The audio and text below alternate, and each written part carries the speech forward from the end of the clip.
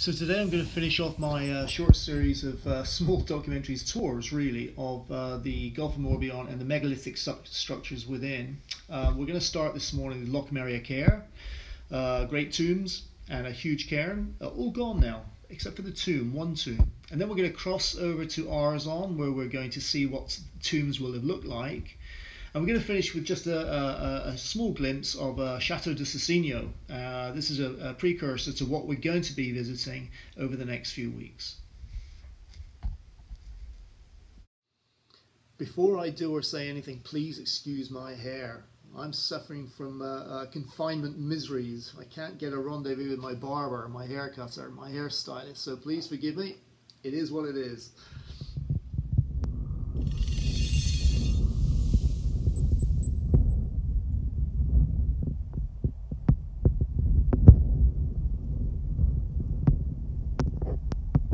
Welcome to another episode on my uh, virtual tours of Brittany. Um, today we're going to visit Locmariaquer, an archaeological site open to the public, um, home to the largest standing stone in the world, 21 meters high. Um, in this, in the course of the documentary, you'll see uh, uh, a graphic image showing you how tall that is in relation to a human being. Um, it was one of many stones that stood there at this particular location, uh, right next to a huge cairn, a huge tomb, buried and covered in stone. Um, the uh, stone heap, the cairn, will have been 80 feet high and 460 feet long. Um, but it wasn't the only one of its kind here in Brittany. There are many like it. In fact, uh, the second video, or the second portion of this video today, will be visiting a place called uh, Le Petit Mont at Arzon. And uh, Arzon is uh, uh, a very interesting location in its own right. It's unique. Another large tomb, in fact, at Arzon, you can see the cairn is still there, and you can see the entrance portal to the, the tomb as it was. However, what's happened is in 1942 the Germans arrived and uh, they turned this particular tomb, because of its strategic location on the peninsula, turned it into an observation bunker. So they took out the archaeology and they filled it with reinforced concrete, turned it into what was then a high tech um, uh, observation post. The uh, third portion of the uh, video today is actually just a short visit to Chateau de Suscinio. It was uh, home to a man who would become Henry, Henry IV of England. Uh, but uh, he was a friend, family member of the Dukes of Brittany um, during the Wars of the Roses in Britain. And uh, he found safety, he found succor, um, he found time to reinforce and, and gain political allies by staying in Brittany at Chateau de Suscinio. Um, it was a, a, a, fortress that was originally built in the 13th century, but what you see today in this short clips is, is a 15th century fortress. Um, it grew up uh, in large part because Brittany is famous for its salt, its blue salt. If you eat blue salt, it probably came from Brittany.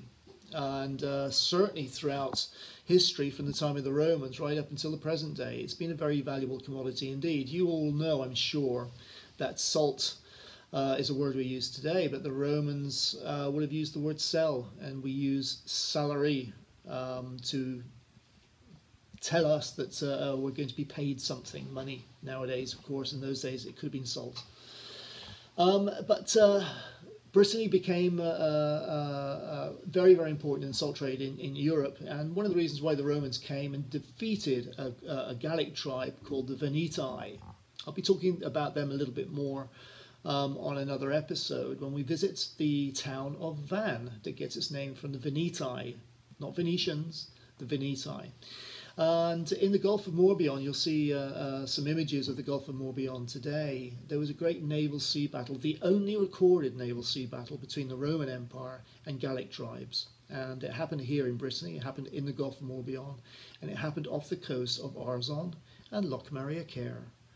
Um, so just another little hint uh, as to how important this area has been historically, um, not just to our ancient fathers, but to our Roman forefathers, and of course to uh, uh, our more recent, our more recent uh, uh, medieval aristocracy. So, little glimpses to what we're doing today. Um, enjoy the show. I will say that next week, my wife and I were going up to Le Mont Saint Michel, and we're going up to the D-Day beaches. Um, we're going to visit Saint Malo Um, so some places that are dear to our hearts as tour guides, we're going to take you to. We're going to give you a virtual tour whilst we're there.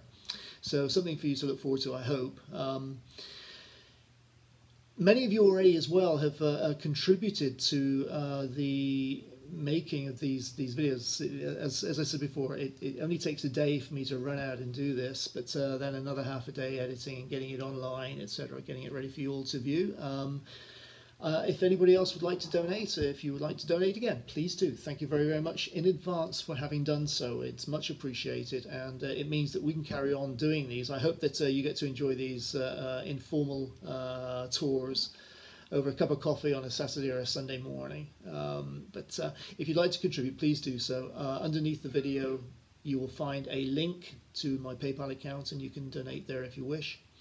Um, alternatively, on my Facebook page where you will probably see the uh, advance notice of this video, there is also a link to our PayPal account. So whatever you can give is, is much, much, muchly uh, uh, appreciated.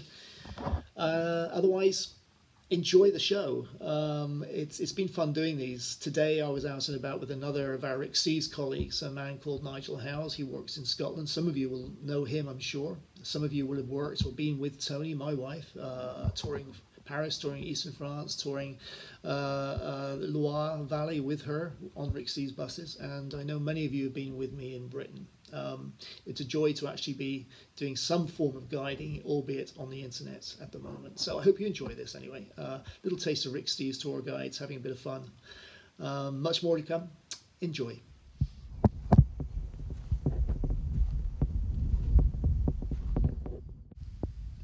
Here's an aerial picture of the site of Locmariaquer. You can see the uh, range of the Great uh, uh, Cairn and the smaller tomb to the right.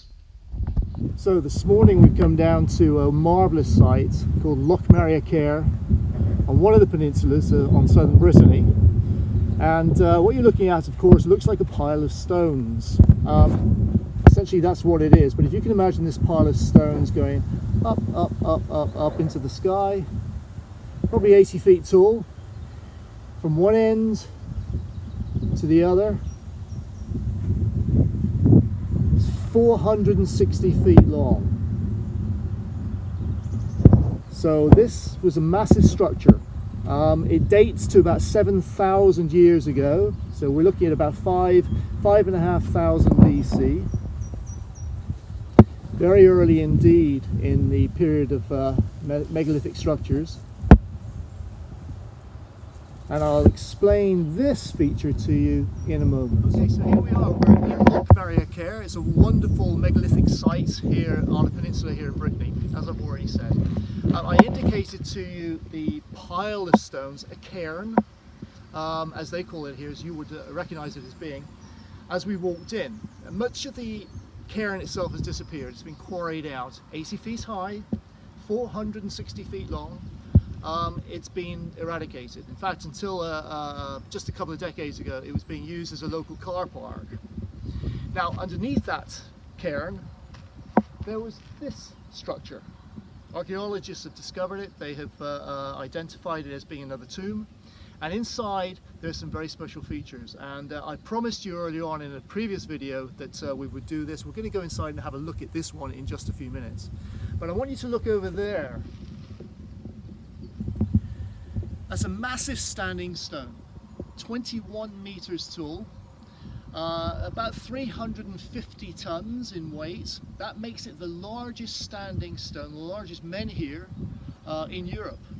It's lying on its side, it's broken into several pieces, but that was one of 18 such standing stones here on this one site, in this one location, on this one peninsula. And uh, we'll go and explore that in a moment, but for the moment we're going to go into the tomb.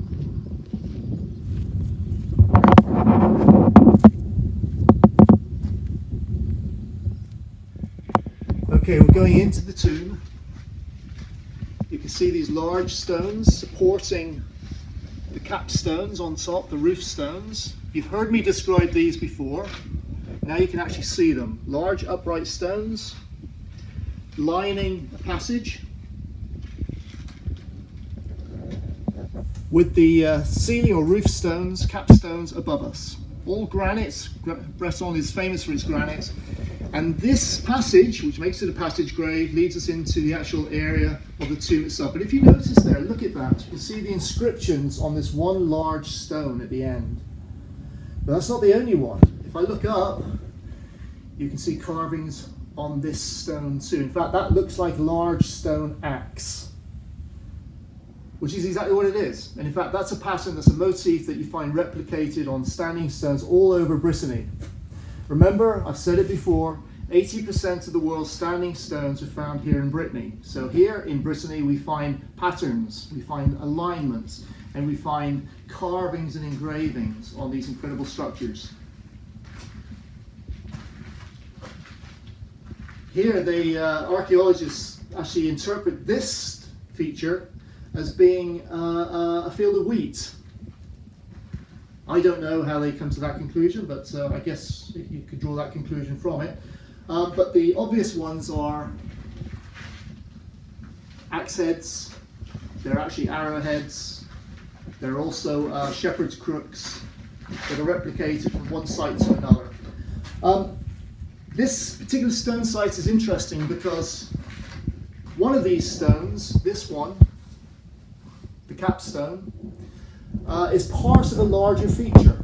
And we'll go and have a look at that in a moment. So at this point I want to emphasise something rather interesting uh, uh, about the site here at Lochmarrier and about the great menhir, the great standing stone. Uh, obviously broken now, uh, broken 700 years after it was originally uh, erected.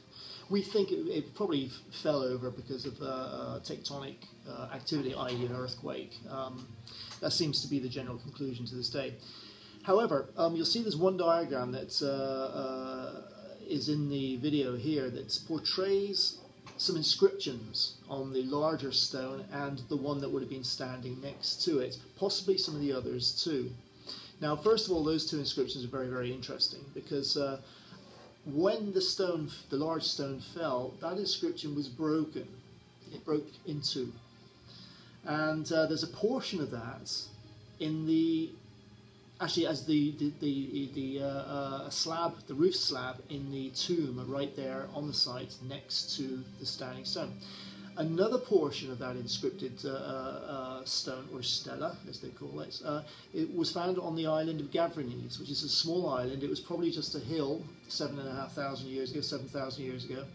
Um, just about four or five miles from Lochmarrier They found it also as a, as a, as a tomb roof slab, um, and uh, it's interesting, isn't it, how archaeology can piece these things together so nicely. Because it's a broken inscription, they know that, it's just like a jigsaw puzzle, that they fit together.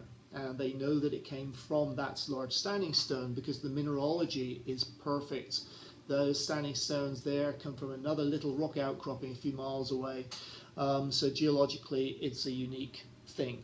And uh, the fact that we have the jigsaw puzzle um, that uh, is made of the same minerals tells us it comes from that large standing stone. So two sites have used a portion of that fallen standing stone. That tells us the standing stone was there first and the tombs came later.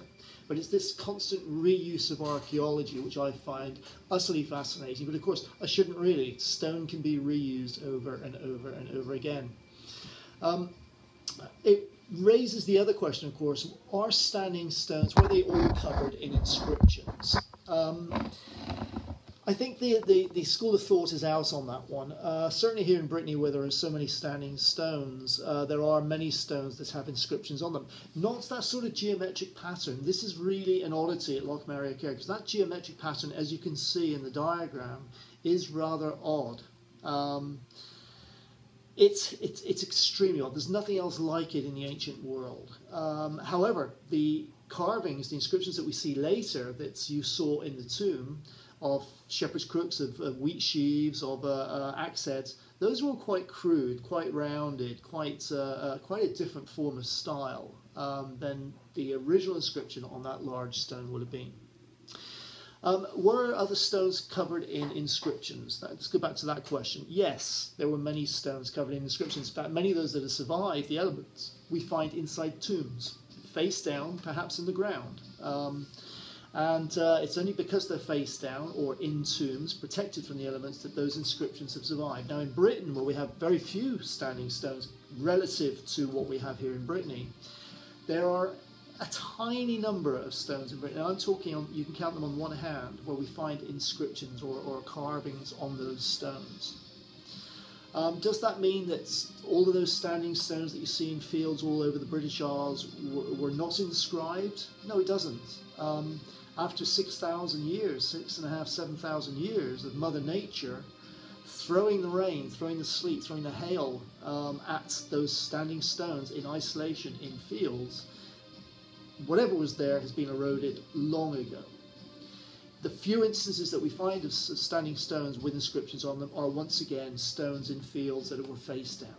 Um, in the British Isles. Here in Brittany, we find a lot of stones, particularly in tombs, that have been inscribed. So, were the stones all uniformly inscribed in something? We don't know. Were there lots more than we have today? Yes, absolutely. In the British Isles, were there more than we have today inscribed? Yes, absolutely. So, think about that. And also I want to re-emphasize the points I make, uh, make on this video. Um, the whole of Western Europe was covered in these tombs, in stone uh, uh, structures of some form. What we have left today is a tiny, tiny, tiny proportion of those that existed four, five, six, seven thousand years ago.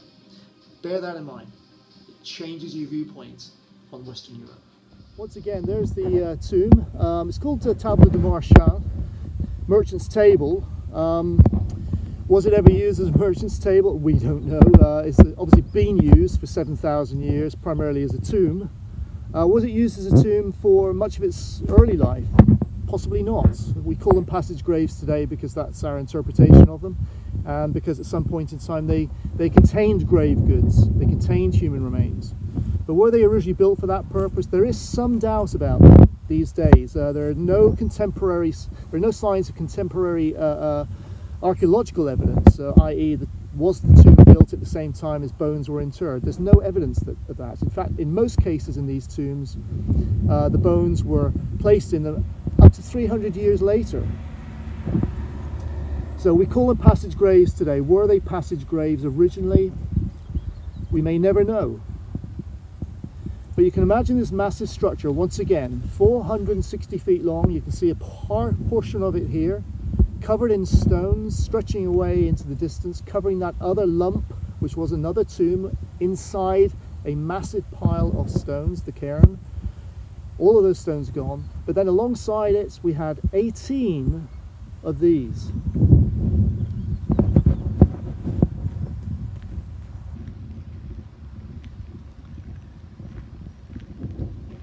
This one was erected about 7,000 years ago. 700 years after it was erected, it came down, it fell and broke. Look at the size of it. 330 to 350 tons in weight, which in turn then throws up all sorts of questions. How was it moved? How were its uh, long lost cousins moved? Because they're gone. You can see the, uh, the base where the stones would have stood. In fact, there's some more there stretching away, 18 in total. Now, how were these stones moved? I've already described to you how the smallest stones were moved. When we were up at Monteneuf the other day, um, I showed you how they were moved, how they were even taken out of the rock, uh, quarried. This particular stone, and it, obviously the ones that were originally adjacent to it came from a rock outcropping, a granite outcropping about uh, eight kilometers away. So it was moved quite a distance. Um, 350 tons, I'm rounding the number up. How did they get this one here? Well, probably using the same techniques as the uh, uh, uh its smaller cousins all over Brittany, i.e. rollers, tree trunks, uh, animal labour, domesticated cattle, But that's still a huge achievement, getting this thing here. Archaeologists are puzzled by it.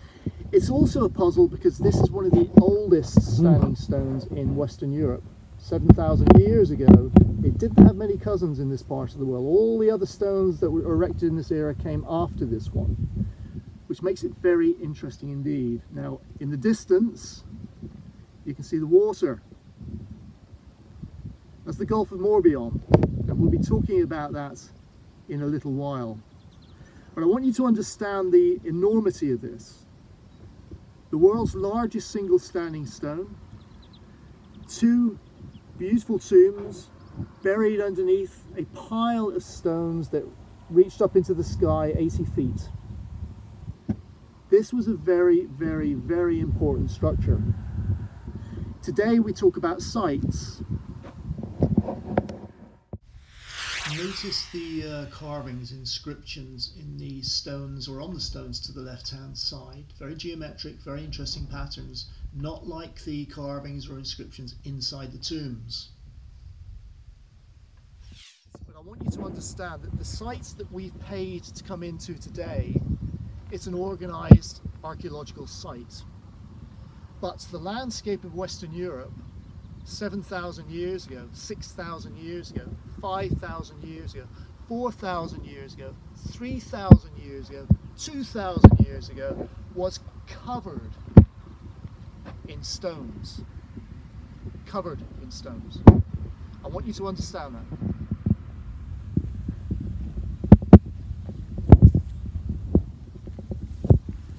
So this is uh, Locmariaquer is the name of the village. That tomb is called the Table de Marchand. And here we have Europe's, if not the world's largest standing stone. On its side, as I say, it collapsed 700 years after it was initially erected. So it's been lying there in place now for 6,000 years.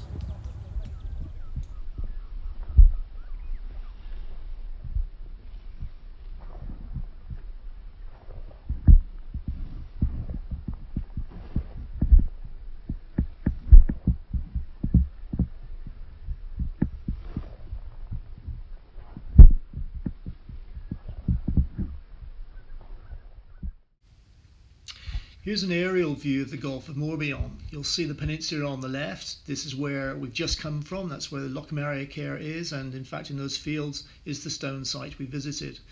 To the right is another peninsula, and this is Arzon, and uh, that's where we're headed next. Uh, the Gulf is the inland sea that you see in the distance, peppered with thousands of small islands. Beautiful area.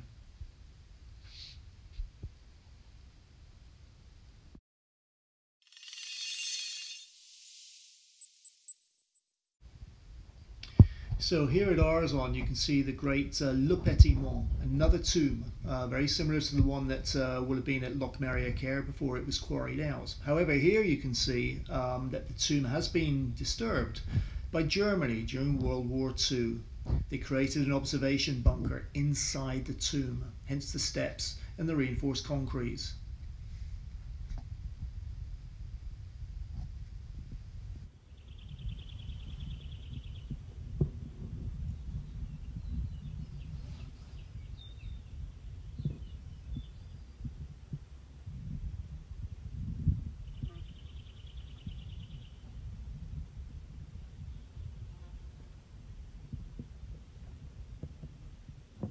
Welcome to uh, Arzon, that's the name of the community. It's a little port here on the uh, uh, Gulf of Morbihan in Brittany.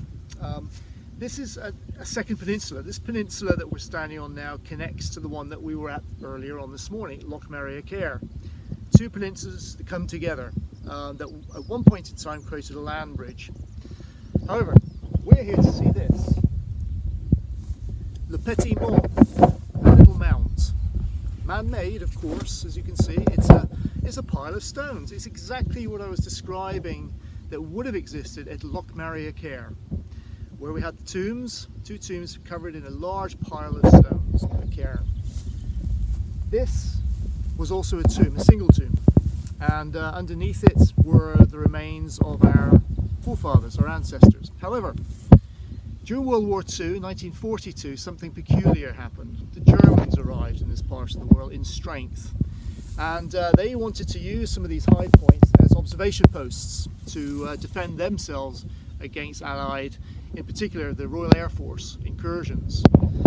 And uh, you can see what they did. They hollowed out the archaeology, they took out the insides of this tomb and they infilled with concrete, reinforced concrete in fact. They turned it into an observation bunker of their own. So no longer a tomb, but an observation bunker, courtesy of World War II. This is what I talk about a lot with regards to the reuse of archaeology, um, in particular stone-built structures. The great cathedrals of today, what will they be 500 years from now? Already here in Britain, cathedrals are no longer really churches, they're more tourist attractions. Um, but it is really interesting to consider what they may be 500 or 1,000 years from now. This tomb, just like Locmariaquer, was uh, erected about 6,500 years ago and uh, was probably used continually for two to 3,000 years. Two to 3,000 years continual usage. And then it fell into disuse, large stones were rolled in front of the tombs and um, uh, they were forgotten uh, Mother Nature reclaimed their own. In the 1960s, we know that this particular site was being quarried out by local uh, uh, stonemasons here in the area, and uh, that halt was that, that practice was put a halt to in, in the late 1960s. Um, but uh, the Germans got here first in the 1940s. They did untold damage, but in a way, I think that is a unique structure. It is a tomb. It's an impressive tomb, but it's now built upon and its usage has been changed courtesy of a great war. Um, untold damage was done to it, but in its own way, this unique structure is important. And I find it fascinating because of that. So on our travels this morning, we've seen so far the world's tallest, largest single standing stone at uh, Locmariaquer. And you've now seen the only inbuilt German bunker built into a megalithic structure in the world. Um, so two unique artifacts here within miles of each other on the coast of Brittany in western France. Another aerial view of the uh, Great Cairn at Arzon, overlooking the sea, looking out towards its brother at Locmariaquer. So we're just uh, walking around the tomb itself now. You can see the, size of this thing. There are a number of these in Brittany. There's another one up on the northwestern coast of Brittany in a place called Finisterre uh, called Barnenez and that's built out of uh, some beautiful red sandstone and limestone blocks. This, this one here again is built out of granite. Local building materials of course, you just use whatever is available to you and what a beautiful day today. Now, uh, just so that you know who's working with me today, Tony didn't come out with me today, uh, but another one of my Rick Steves colleagues, uh, tours in Scotland, who also lives here in Brittany, uh, his name is Nigel Howes. Hey Nigel, how are you doing? Good. day out in the sun. Day yes? out in the sun makes a change. Thanks for your help, Nigel. No Appreciate it.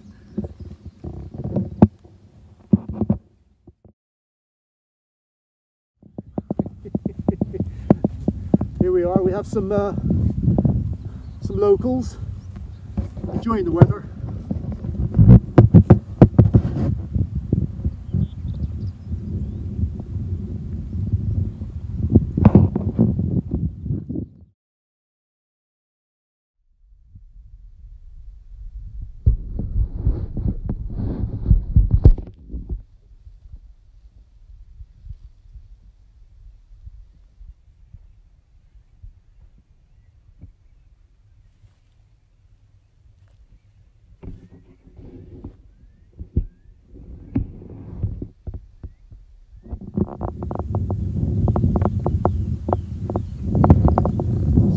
See the uh, support stones and see the capstone or lintel if you wish to call it that, um, the entrance to uh, the tomb itself. It's been gutted inside, like I say, reinforced concrete fills the entire tomb now.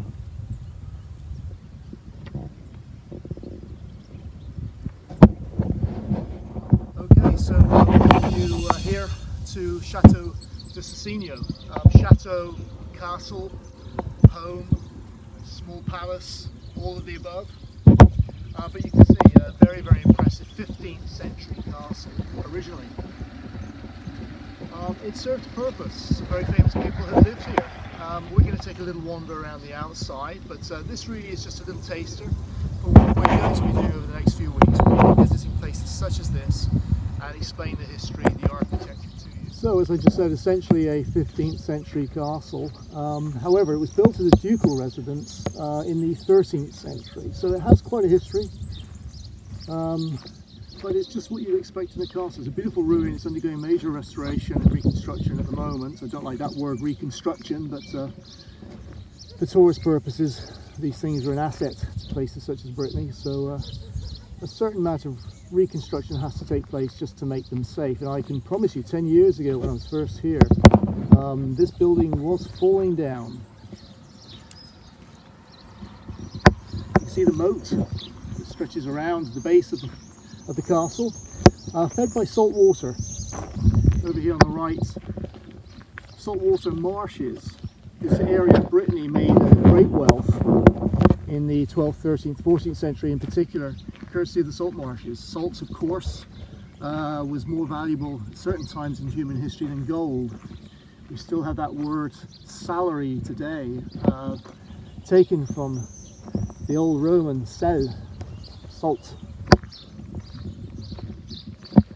And it was that salt, the salt marshes, that gave reason for people such as this to live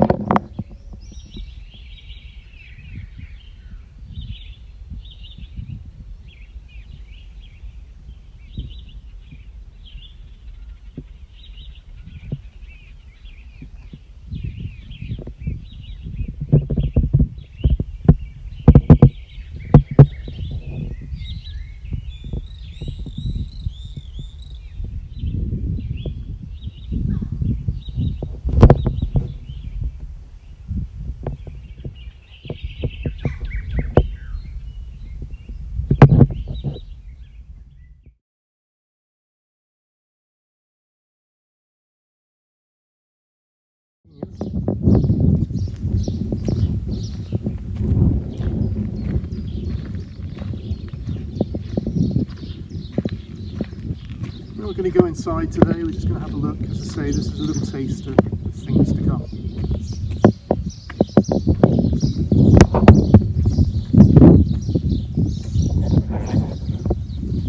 So here in the heart of Brittany, uh, we have a very French chateau or castle, I think. Well, yes, um, it's built by the Dukes of Brittany in the 1300s originally, and then it evolved and it grew.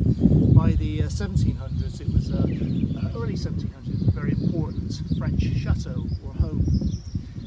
Um, however, in the intervening years, you have uh, a situation where English kings, these people who would become English kings, stayed here.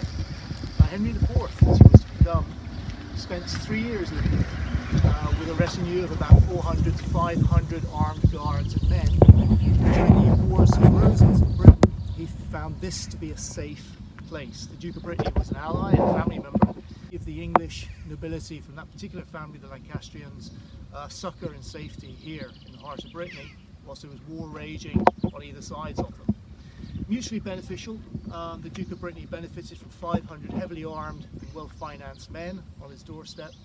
Um, the English lords found benefit because it was safety here. They could increase their numbers, they could train, they could gather more allies for the war that was going on for years back home in England. But this was home to what was to become an English king.